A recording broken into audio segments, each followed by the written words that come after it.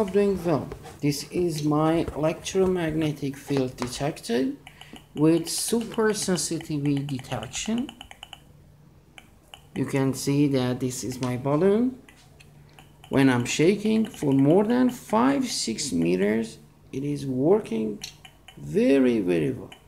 I should say that this is the best project that I made with the electromagnetic field detection and maybe for more than five six meters as I told it is working still well. Here is the schematic that I designed. It is not very nice but you can find out what's going on. I have one part here to adjust the sensitivity and the OP07 or CA30 um, 3130 is very good for this one. The antenna is connected to the MPF 102 like this. One part for adjusting the uh, sensitivity level or sensitivity level sensitivity level.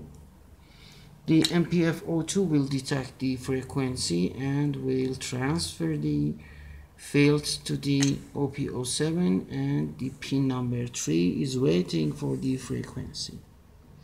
And finally the pin 6 is output through an LED will connect to the positive like this. I add one more diode here. It is uh, silicon 4148 diode to protect the noise level is dependent to you to use to use this or not. And this is my VU meter project. I have one special video for this one connected to buzzer it is not an oscillated buzzer it is normal buzzer and one VU meter the gauge is over dB.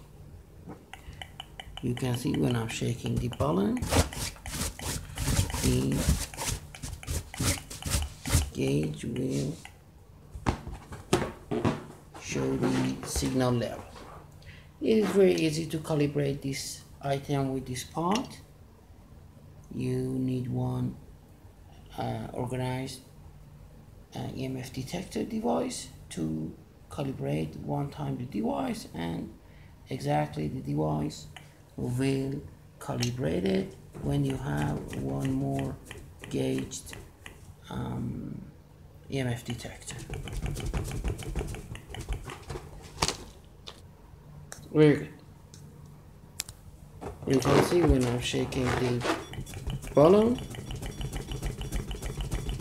the gauge electromagnetic field detector also blinking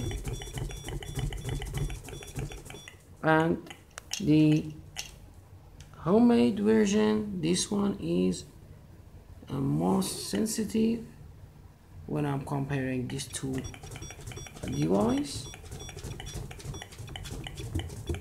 believe me the inside of the device is uh, exactly the same just the counter it, this one is 7 segment but we are working with the meter.